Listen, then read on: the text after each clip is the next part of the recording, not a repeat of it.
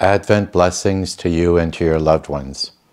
I am Father Jean Paul Labrie. I live in Fort Kent and work in the parish of St. John Vianney. And I have been invited to offer some Advent reflections for this year.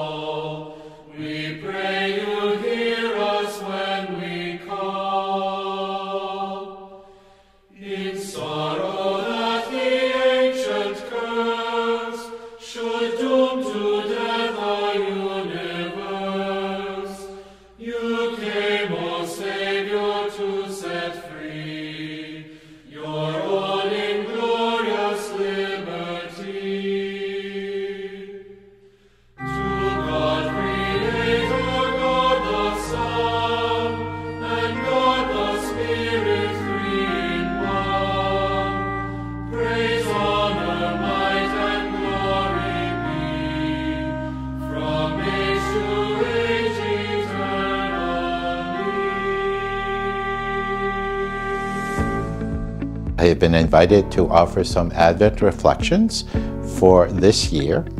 What I want to do is to reflect with you on the icon of the Nativity.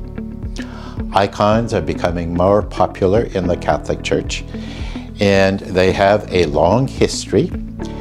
Icons are a combination of a reflection in paint on the liturgy, which is an important ingredient, and also the scripture.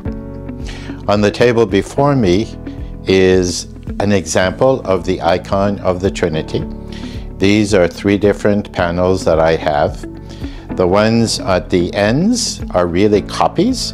The center one is an authentic icon that was painted in Poland uh, just immediately after World War II, probably part of what is now the country of the Ukraine. Basically, I think anyone would recognize the personages that are there. Um, it is the story, the Christmas story that we find, but it is a painting, an image that is meant to open our hearts so as to reflect on the generosity of God. It tells a story, which is why all of these personages would be involved in the icon painting, but the focus will always be on the gift of Jesus. As we reflect together in the upcoming weeks on various aspects of the icon, I do pray that the blessings of the Christ child be with you and your loved ones, and as we ponder anew the great story of Christmas, that our hearts are able not only to receive the peace of Christ, but to become that reflection for our brothers and sisters. God bless you, and I look forward to our weekly meditations on the icon of the Nativity.